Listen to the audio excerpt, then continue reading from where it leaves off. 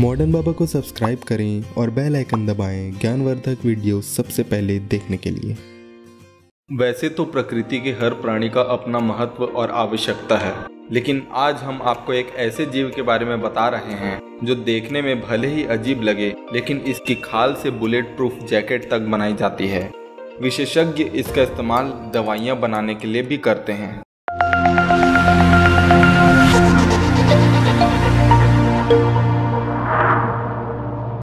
भारत में एक ऐसा दुर्लभ स्तनधारी वन्य जीव जो दिखने में अन्य स्तनधारियों से बिल्कुल अलग व विचित्र आकृति का, जिसके शरीर का पृष्ठ भाग खजूर के पेड़ के छिलकों की भांति कैरोटीन से बने कठोर व मज़बूत चौड़े शल्कों से ढका रहता है। दूर से देखने पर यह छोटा डायनासोर जैसा प्रतीत होता है। अचानक इसे देखने पर एक बार कोई भी व्यक्ति अचंभित व डर जाता है। पेंगोलिन को डायनासोर का वंशज माना जाता है, क्योंकि उसके हड्डियों की बनावट और आकार डायनासोर से मिलता है। दुनिया भर में पेंगोलिन की सात प्रजातियाँ पाई जाती है। तो ये वनों में पाए जाते हैं और आकार में छोटे होते हैं। पिछला पैर अगले पैर की तुलना में बड़ा और मोटा होता है। इसके दांत नहीं होते, यह जीप से ही शिकार करता है। इसकी जीभ करीब 25 सेंटीमीटर तक होती है और यह आसानी से अपने शिकार को अपनी जीभ पर चिपका लेता है। यह कमाल का वन्य जीव है, जो कई मायने में अद्भुत है। नुकीली थूथन व सुंडाकार शरीर होने से यह अपने बिल में सरलता से आ जा सकता है। वहीं शल्की कवच इसको विषम परिस्थितियों में सुरक्षा देता है। इसने एक अनोखी एवं मज़बूत सुरक्षा प्रणाली भी विकसित कर रखी है, जिससे यह खतरनाक पर भक्षियों से प्रायः सुरक्षित रह जाता है। खतरा होने पर यह अपने शरीर को जलेबी नुमा कुंडलित कर फुटबॉल की भांति बना लेता है। यदि यह ऊँचे स्थान पर है, तब खतरों से बचने के लिए यह फुटबॉल की भांति लुढ़क कर मैदानी क्षेत्र में आ जाता है। पेंगोलिन की खाल की दक्षिण पूर्व एशिया के देशों में भारी डिमांड है। इसकी परतदार खाल का इस्तेमाल शक्तिवर्धक दवाइयों, ड्रग्स बुलेट प्रूफ जैकेट, कपड़े और सजावट के सामान के लिए किया जाता है। आपको बताते चलें कि यूँ तो पेंगोलिन के सात प्रजाति होते हैं, पर भारत में केवल दो प्रजातियों का पेंगोलिन पाया जाता है। इसका उपयोग अधिकतर यौन वर्धक दवा से लेकर नपुंसकता को दूर करने में किया जाता है, जिसके वजह से इसकी कीमत लाखों में है। वहीं जानकारों की अगर माने तो इसके अंगों की कीमत अंतर्राष्ट्रीय बाज़ार में 10-12 लाख रुपए तक मिलती है, लेकिन भारत में इसे बीस हज़ार रुपये में बेचा जाता है। क्योंकि इसका उपयोग चीन और थाईलैंड जैसे देशों में नपुंसकता दूर करने और यौन पावर बढ़ाने वाली दवाई बनाने के लिए की जाती है। पेंगोलिन की अधिकतर आबादी खतरे में है। एशियाई पेंगोलिन घटते जा रहे हैं, क्योंकि लगातार इनके पर्यावास खत्म होते जा रहे हैं और इनकी त्वचा और शल्क के अंतर्राष्ट्रीय व्यापार और मांस के लिए इनका शिकार किया जाता है। दुनिया के कई हिस्सों में पारंपरिक औषधियों के निर्माण के लिए शल्क की काफ़ी मांग होती है। कहा जाता है कि पेंगुलिन का मांस अस्थमा के इलाज और रक्त परिसंचरण बढ़ाने में कारगर होता है।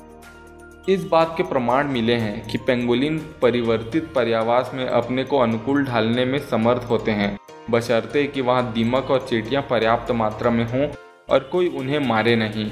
कुछ जनजातीय समुदाय जहाँ बड़े चाव से पेंगुलिन का मांस खाते हैं, वहीं उनके शल्क और त्वचा का अंतर्राष्ट्रीय व्यापार होता है। लगातार पसरते खेत और कीटनाशकों के बढ़ते प्रयोग के चलते भी पेंगोलिन की संख्या घटती जा रही है। पेंगोलिन की दोनों प्रजातियों को आईयूसीएन द्वारा संकटापन्न प्रजातियों की सूची में रखा गया है। पेंगोलिन बड़े अतिव्यापी प्लेटों से पूरी तरह से केरातिन से बना है। सुपरीना कहती हैं, वास्तव में वे सच्चे तराजू के लिए एकमात्र ज्ञात स्तनधारी पाई हैं और स्नेहपूर्वक स्केल एंटी स्टाइल के रूप में जाने जाते हैं। तराजू ऐसा लगता है जैसे वे बेखबर हो सकते हैं, लेकिन एशिया और अफ्रीका से इन कटियों के लिए नहीं। पेंगुलिन का अर्थ है रोलर, मलय में अच्छे कारण के लिए। जब एक पेंगुलिन को खतरा महसूस होता है तो वह एक गेंद में लुढ़कता है, अपने तराजू को कठोर बाहरी कवच के रूप में उपयोग करता है। पेंगुलिन कांगो लोकतांत्रिक गणराज्य में इस काले बेलदार पेंगुलिन की तरह तराजू के एक साथ एकमात्र ज्ञात स्तनधारी पाई हैं। एक शेर को पेंगुलिन नहीं मिल सकता है। मेयर्स कहते हैं, यह सांपों के हमले के लिए कोई जगह नहीं छोड़ता है। वन्य जीव व्यापार नेटवर्क निगरानी, ट्रैफ़िक के भारत अध्याय के अनुसार, देश से जब्ती रिपोर्टों का सुझाव है कि 2009 से 2013 के बीच 3000 से अधिक पेंगुलिन का शिकार किया गया था। मीडिया रिपोर्टों में कहा गया है कि इस अवधि के दौरान 25 बरामदी में लगभग 5000 किलोग्राम पेंगुलिन तराजू को जब्त कर लिया गया था। प्रत्येक पेंगोलिन में औसतन डेढ़ किलोग्राम स्केल होता है, जिसका अर्थ है कि जब्त किए गए पैमानों के लिए 3350 पेंगोलिन का शिकार किया जा सकता है। और यह सिर्फ़ एक रूढ़िवादी अनुमान है। फरवरी की शुरुआत में नागालैंड राज्य की पुलिस ने मणिपुर की एक महिला को म्यांमार के रास्ते से 10 किलोग्राम पेंगोलिन तराजू के साथ पकड़ा।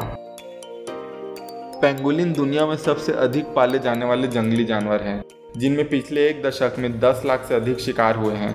एक वन्य जीव व्यापार निगरानी नेटवर्क द्वारा किए गए शोध और विश्लेषण में पाया गया कि 2009 से 2017 के बीच पाँच पेंगुलिन के बराबर जब्त किए गए थे। 2009 से 2013 के बीच अधिकांश बरामदगी पूर्व क्षेत्र में थी, जबकि 2014 से 2017 के बीच बरामदगी मध्य और दक्षिण क्षेत्र में केंद्रित था। मणिपुर और तमिलनाडु में जब्ती की संख्या सबसे अधिक थी। भारत में पाई जाने वाली पेंगुलिन की दोनों प्रजातियों को वन्य जीव अधिनियम उन्नीस सौ बहत्तर की अनुसूची एक में सूचीबद्ध किया गया है। इसलिए शिकार, व्यापार या उनके शरीर के अंगों की प्रजातियों के उपयोग के किसी अन्य रूप और डेरिवेटिव पर प्रतिबंध लगा दिया गया है।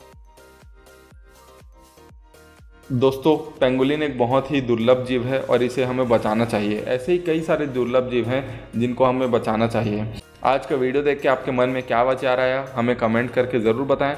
अच्छा लगा हो हमारा वीडियो तो लाइक करें और ज़्यादा से ज़्यादा लोगों तक शेयर करें, ताकि लोगों में अवेयरनेस बढ़े कि ये जो पेंगुलिन है, उसे हमें बचाना चाहिए और इसका गैरकानूनी धंधा नहीं करना चाहिए। अगले एपिसोड में फिर मुलाकात होगी, तब तक के लिए धन्यवाद।